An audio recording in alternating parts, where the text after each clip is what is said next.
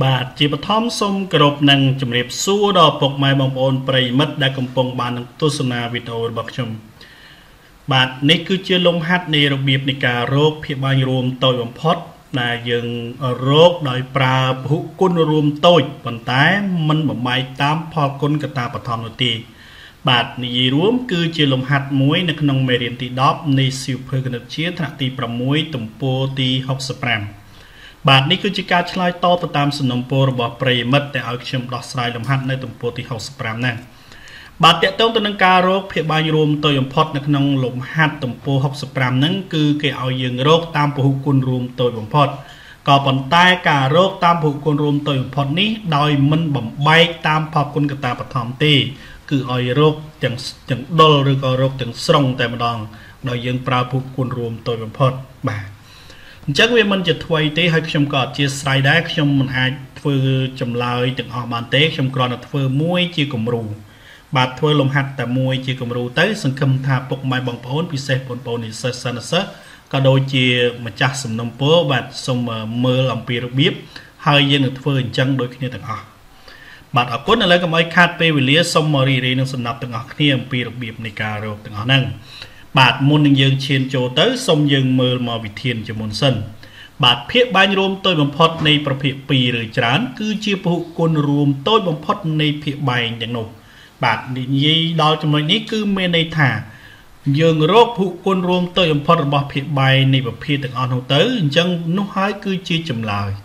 បាទគឺជាភាគបាញ់រួមតូចបំផុតរបស់ប្រភេទនឹងដែរ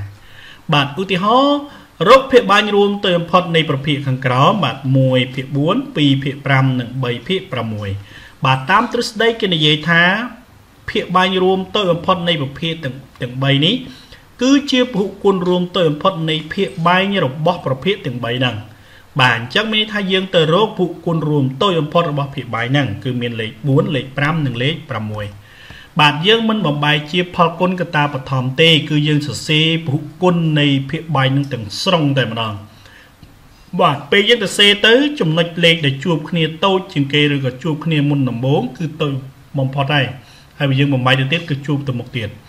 បាទឧទាហរណ៍ដូចជាពហុគុណនៃ4គឺមាន4 8 12ចុចចុចចុច60 64 6ចុចចុចទៅទៀតបាទច្រើន បាទកន្លែងនៃចុចចុចនេះគឺយើងសរសេរទាំងអស់ក៏ប៉ុន្តែយើងមិនអាចសរសេរវាបានទេដោយសារវាច្រើនពេកអញ្ចឹងពុកម៉ែបងប្អូនអាចប្រើចុចចុច2 3ចេះហើយមិនដាក់លេខកន្លែងនៃជួបថាតើហេតុអីបានយើងដឹងកន្លែងជួបមុន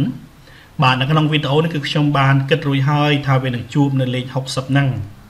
បាទអញ្ចឹងម៉ាស៊ីនពុកម៉ែបងប្អូននឹងដឹងទេពុកម៉ែបងប្អូនបំបែកបានច្រើនទៅ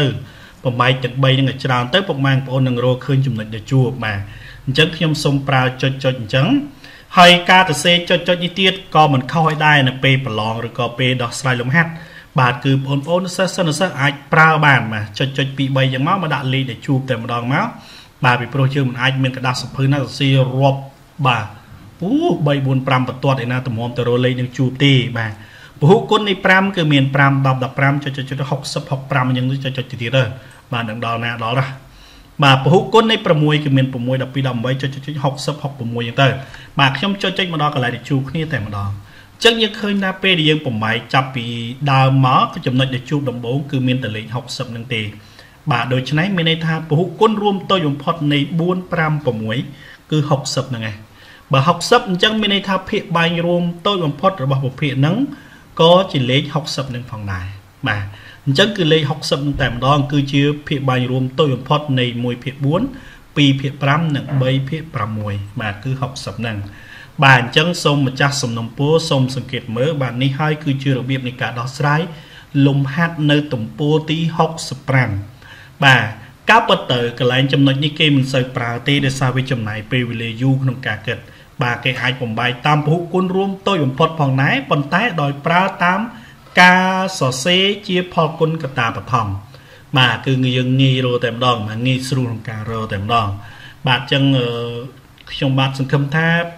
ម្ចាស់សំណុំពរក៏ដូចជាបងប្អូនជាសិស្សសិស្សសិស្សអាចទទួលនឹងយល់បានបាទអរគុណសម្រាប់ការទស្សនាកុំភ្លេចចុចចុច Subscribe ចុចរូបកណ្ដឹងដើម្បីទទួលបានវីដេអូថ្មីថ្មីជារៀងរាល់ថ្ងៃខ្ញុំបាទសម្រាប់ពេលនេះខ្ញុំបាទសុធាសូមជម្រាបលា